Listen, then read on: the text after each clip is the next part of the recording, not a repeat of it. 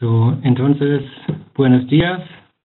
Soy Carl Büttner de la empresa Hauser en Suiza y mi, mi español no es suficiente por esta presentación. Entonces voy a cambiar a inglés y si tienes algunas preguntas, um, lo hacemos uh, luego después de la presentación. So, who am I? My name is Karl Büttner. I'm 27 years old. At Endress and Hauser, I am the technology marketing manager for Profibus. This means in Endress and Hauser, I try to align our Profibus activities. I am also active in the Profibus uh, International organization. There I have a co-chair of the PA marketing, as we call it. And Moreover, I support our local sales centers and local regional Profibus associations worldwide regarding Profibus technology marketing. So what is the goal of our webinar today? As you see, I want to give you a brief introduction in what Profibus uh, profiles are, how those profiles work, and um, how the integration is done in the PLC. Just a small overview, and I think the, the main, the biggest part, as mentioned in the heading, is the um, PA profile benefits. So let's start right away. Going from analog to digital, I think is from everyone, everyone knows this from his personal life. So we use smartphones, we use uh, computers, everything is digital. Our our children um, have this like natively and accept this, but in the process industry we are a bit on another on another track. So it's a bit more, let's say, a slow industry, conservative industry, where the life cycles of a plant are up to 40 years. So in the last, well, in the last 20 years, we have started to change to digital there as well. And this is what our what the pictures on the bottom say. So this is an old um, Liquiphant from 1983 analog device, 4 to 20 milliamps. And nowadays we have level switches with Profibus PA, fully digital. You can not only get the um, the current, let's say, which tells you more or less the value after scaling, but this tells you everything. It tells you the value digitally, it tells you its serial number, if there are any problems, and so on. And this is what really leverages a lot of benefits in the process automation. So if you look at the Profibus numbers, at the moment, Profibus will become 25 years old next year, so there will be a big celebration as well and we are approaching about 50 million installed nodes, as the Profibus organization calls it. You could say these are devices and passive network components. And looking at PA especially, this is quite a big share. It's about 9 million, and it's a well-proven solution in the process automation. So coming to the next topic, how is this then integrated in my PLC? Um, for this, I've prepared a small animation just to show you um, the differences, how the Profibus communications work. So the um, masters communicate um, over a token ring. This means the master who has the token can talk to the devices, and the devices um, are polled. So they are passive, they are slaves, and every master asks them um, for the information thereby we, uh, I show you now. This is the topology I've told you. So we have our DCS, and maybe in, in this is our first master, master class one, and we have our master class two here, maybe an engineering station or something for the for configuring the devices and doing special operations, let's say. So at first we have our token ring, and the token gets passed from master to master. So the master who has the token can talk. And now in the next step, the token is in master 1, and this master class 1, he does the cyclic communication. That means after every cycle, he asks the devices. Whereas the master class 2, does the acyclic communication. So when he has the token, he can speak to a defined device and maybe dig into the configuration or and get some special data out of it, etc. So parametrization, I would say on the right side, and on the left side, I'd rather say just getting the values up to the system to keep the plant running. So how is this integrated? This looks a bit complicated, but it isn't. You use your GSD file to integrate the Profibus device into your master class 1. This means it describes the communication, beha communication behavior and the supported features. It includes the um, data that is exchanged um, cyclically and provides basic um, diagnostic data as plain text. So you can open any GSD file, you can Google one on, on the internet, and it's just a text file. You can open it with your notepad on, on Windows, for example, and there you see some vendor information and the stuff I've told you before. So basically, the GSD file um, in, in the G, to the second point, you can now say if you, for example, have a flow meter, I want temperature, I want density, and I want mass flow. And in the device, uh, in the GSD, there is there is stated where those values are, in which module, in which slot, so that your um, PLC can get the cyclic data. And if there is a fault, so this is what I've shown here, the device may raise a diagnosis bit. And all those diagnosis bits are here, well, let's say um, in clear text. So it, it means error 27 means electronic temperature too high, for example. We come later on diagnostics. And the other master I've showed you was the acyclic master. So for this, you need a DTM or an EDD file. These are basically both the same. The EDD file is used for typically Siemens PDM and the DTM device type manager for the others. So with this software component, you can access specific data of the field device via the user interface. You can do, as I told you, parameterization, diagnostics, maintenance, and you can integrate the device in your plant asset management. This is now an example here. It's a bit small. You see uh, the program here is, for example, from Endress and Hauser. It's field care, and you open your device there and you go on the device with acyclic data exchange, and then you can dig very deep into the configuration. Here, for example, the device tells you maintenance is required. So you can do predictive maintenance. Maybe it's a, it's a flow meter and your tube is starting, starting to corrode. So by the time you can say, okay, maybe in two weeks I will have to go down there and I can plan my maintenance. And all this can be monitored with your plant asset management system.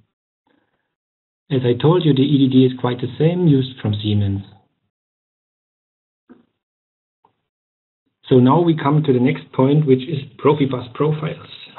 This is always a bit confusing. I was, for example, on a fair in Germany two days ago in Bochum, and then the people asked me, yeah, what is the Profibus profile, and what is the difference to the Profibus protocol, and what is the difference to um, to the uh, to the physical layer, so to RS485 on the DP side or to MBP for the PA devices. And with this picture, you can really easily explain this. On the very bottom, you have your physical layer. This means, for example, Profibus PA, on which we focus today, uses RS485 or typically MBP. This means Manchester bus powered.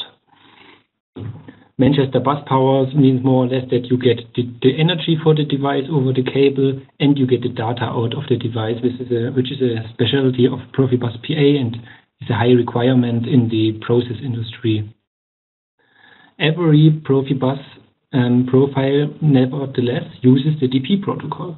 This gives us a clue about um, how they, why they work together so easily. So you have your DP segment, you have your PA segment below, and they can seamlessly communicate over the DP protocol.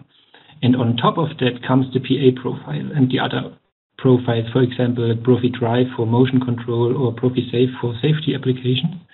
Profibus PA profile 302, I would say is like a commitment of the different members of Profibus organization, which are more, far more than 1,000 members, and I think it's over 2,000 listed devices on the Profibus website, and they commit together there to have a matching solution. So they say, okay, every PA device which follows the standard PA profile 3.02 will behave the same. So it does not matter if it is a Siemens device, an ABB, and Samson, Krohne, Endress+Hauser, and so on, Vega. I don't know uh, all of them, but I think you, you get the point. So if every vendor follows the PA profile and releases their device as a PA profile device, for example, all the Endress+Hauser devices with Profibus PA follow this standard, the user is safe that all the devices behave the same way. And this is a really nice feature. So with this, we come really close to the convenience you have with 4 to 20 milliamps. Besides this, you have far more features than with 4 to 20 milliamps. So now on the right side, I have made a picture of this of the current version of the PDF file. You can download it on the Profibus website if you're interested into bits and bytes. And so what what is the real well use of it? It is, as I would say, easy device handling. Compared to 4 to 20 milliamps, this means you get your condensed status, so you can know if the value of the device can be trusted.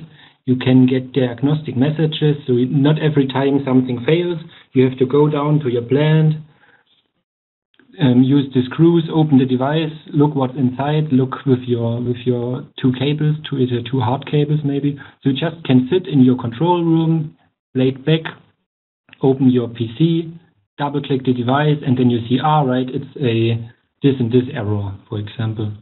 You can plan your maintenance with this. And a really cool feature, which I like very much, I will show on the next slide in a small animation. This is the automatic ident number adaptation. It sounds a bit um, complicated, but it is not. This just means, like with hard, just plug and play. This means a device fails, you go to your it's it's Sunday night, four o'clock. No one is at the plant who has deep IT and, and Profibus know-how. So the normal maintenance guy comes out. He takes out the old device, puts in the new device, puts the, puts the plug in, and everything is working. So this is a fantastic use of Profibus, which is quite unique, I'd say. I'll explain later again. For the um, commissioning, also fast parameter transmission is interesting. And another value of Profibus PA profile, if you follow this profile, this means the device will have every important data on a faceplate.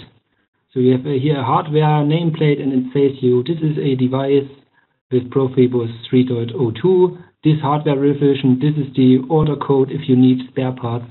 So even if your device fully fails, you can get all the data, which is, as I have to say, not typical so um, with this, this is also standardized over different vendors.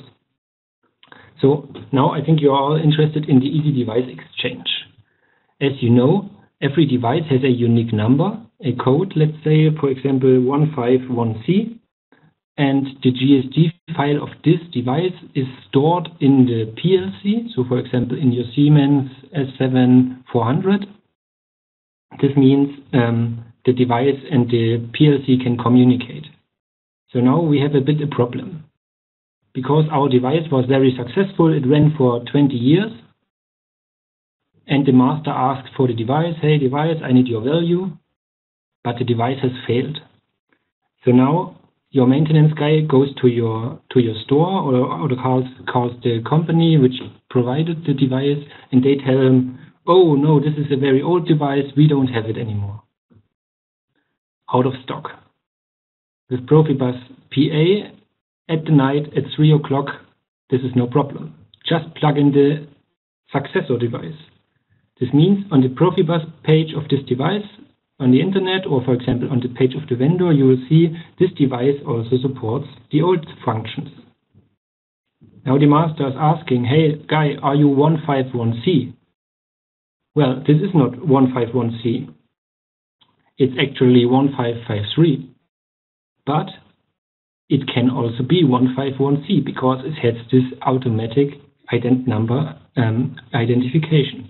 So now it switches its ID number back to 151C. These are the supported ident numbers you find on the web page. And it tells them, yes, I'm 151C.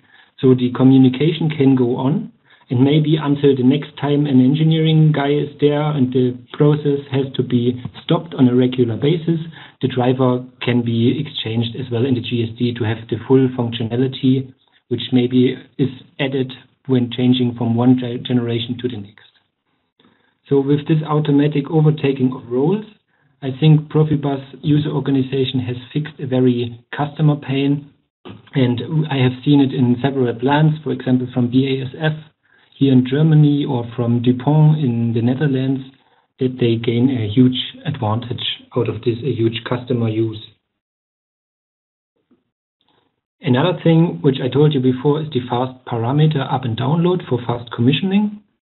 This means with, the, with every device with which supports Profile 3.02, you can have a very fast up and download of the devices uh, parameter. So imagine, for example, you have a huge plant, you have 1000 Profibus devices.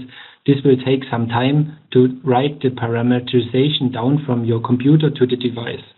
With 302, this is up to 10 times faster, so your commissioning and maintenance and device exchange is accelerated. You don't lose time anymore.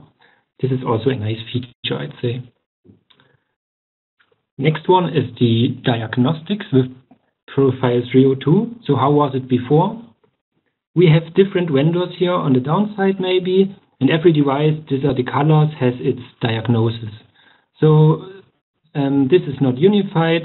So all the diagnoses are set to the Profibus, to your control system or to your maintenance guys, and they see this colorful cloud and they don't know what is priority, what do I have to do first, what is this, maybe this is just maintenance required and this is a bad fault. So with Profibus Profile 3.02 and the NA107, this is clustered. So maybe you have seen the webinar of my colleague Ricard on uh, Wednesday evening, and there he already spoke about the Namur NA107. So Namur is a user organization more or less of all the chemical companies who um, have come together to get some leverage, to get some pressure on the um, foundations of different field buses. And we, as the Profibus user organization, have implemented this standard.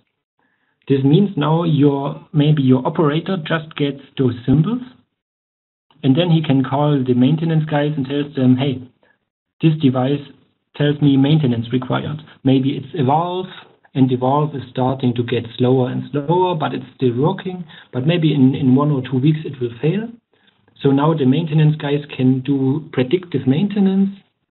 This means they go there, um, they do schedule everything, and they do not have to stop the process immediately.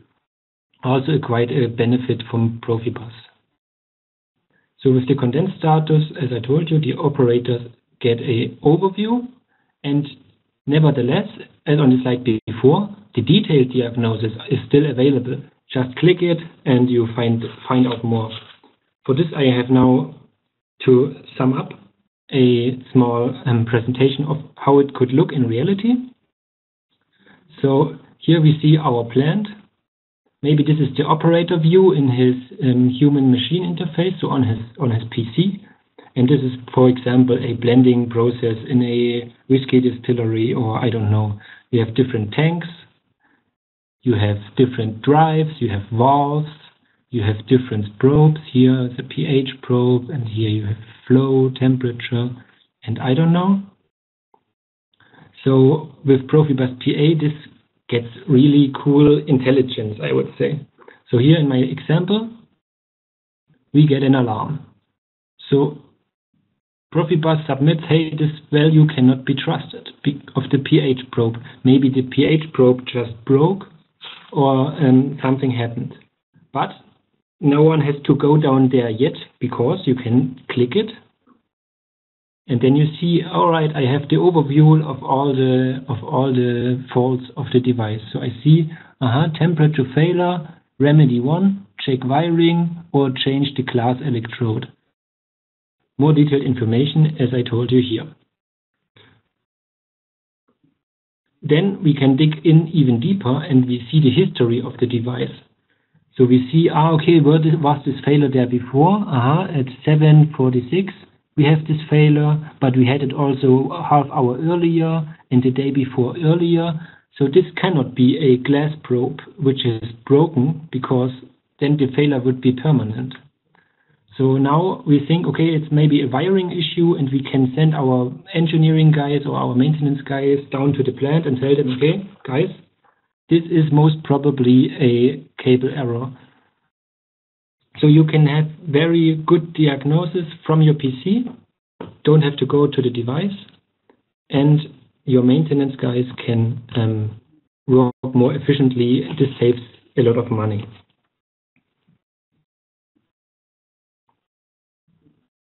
So to sum up, what I have told you now, the Profibus profile for actuators and sensors is available for all important areas in the process industry. Just ask your preferred vendor, I'd say, for PA302 devices.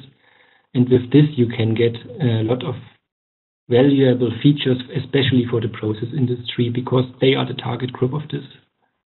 Easy device handling, easy diagnostics, more speed, and also what is also available, but it's not a well, it's not content of this webinar, is ProfiSafe for process automation, which also is for very security, let's say, uh, vulnerable um, critical points of your process.